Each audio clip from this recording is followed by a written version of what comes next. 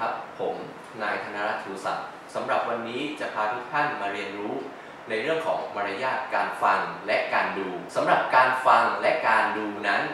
เป็นกิจกรรมอีกกิจกรรมหนึ่งที่เราทุกคนในสังคมต้องเข้าไปมีส่วนร่วมกันอยู่เป็นประจำทุกวัน การเป็นผู้มีมารยาทที่ดีในการฟังนั้น นอกจากจะเป็นการสร้างบุคลิกภาพที่ดีให้กับตนเอง และยังเป็นสิ่งที่แสดงให้เห็นว่า ตัวเรานั้นได้รับการฝึกฝนอบรมมาเป็นอย่างดี รวมถึงมีมารยาททางสังคมที่ดี การที่ทุกคนมีมารยาทในการฟังและการดู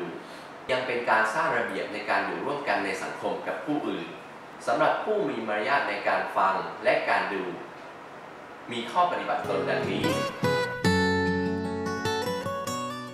1. เมื่อฟังอยู่เฉพาะหน้าผู้ใหญ่ ควรฟังโดยสำรวมกิริยามารยาท 2. การฟังในที่ประชุม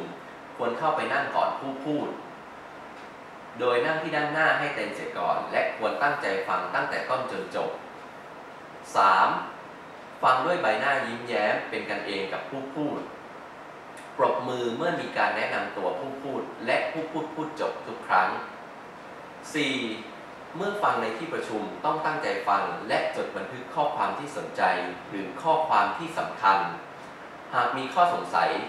เก็บไว้ถามเมื่อมีโอกาสและถามด้วยกริยาคำพูดที่สุภาพ 5. เมื่อไปดูละคร ภาพยนตร์ หรือฟังดนตรี ไม่ควรสร้างความรำคาญให้ผู้อื่น ควรรักษามารยาทและสำรวมกริยา และควรปิดโทรศัพท์มือถือทุกครั้ง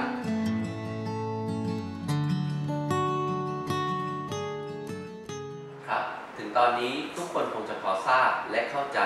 เรื่องมารยาทของการฟังและการดูเบื้องต้นกันแล้วนะครับ และผมก็หวังว่าทุกคนจะสามารถนำไปปรับเพื่อใช้ในชีวิตประจำวันของแต่ละคนได้ เดี๋ยวจะมีแบบทดสอบให้ทุกคนได้ทดลองทำกันก่อนนะครับสำหรับวันนี้ผมคง